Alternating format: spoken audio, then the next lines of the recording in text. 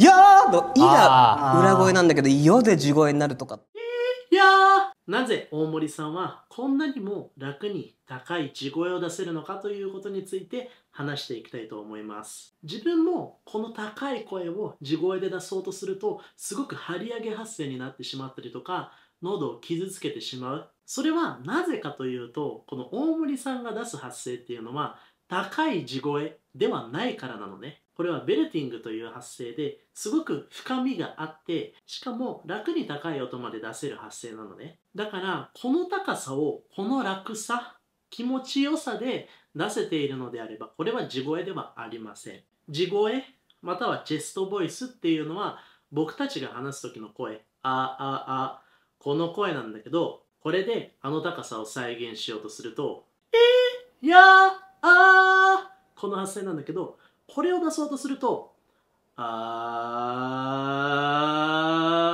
ー、あー、あー、あー、あーっていう風に声を大きくしないと、張り上げないと絶対にあの高さまでは出せないのね。だから、まず大事にしてほしいこと。あれは地声ではないし、地声の感覚とは全く違うのね。けど、シンプルに裏声と地声、この2つの発声しか知らない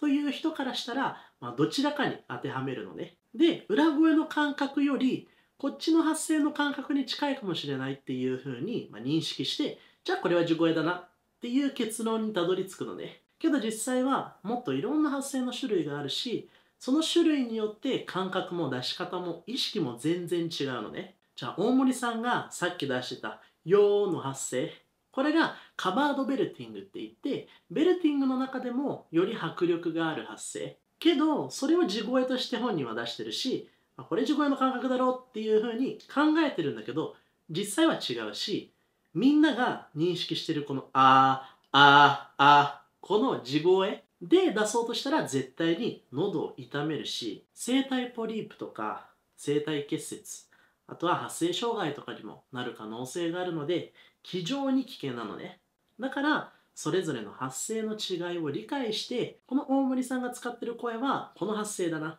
この発声はこうやって再現するから地声ではないな。地声のまま出そうとするとこういう結果になるよねっていうのを理解して練習する必要があります。なので自分が大好きなアーティストが言ったからそうだ。じゃなくってしっかりと発声の理学っていうところを理解して自分の声自分の楽器を大切にしながら自分の理想の歌声を手に入れましょう。それじゃあまた次の動画でお会いしましょう。バイバイ。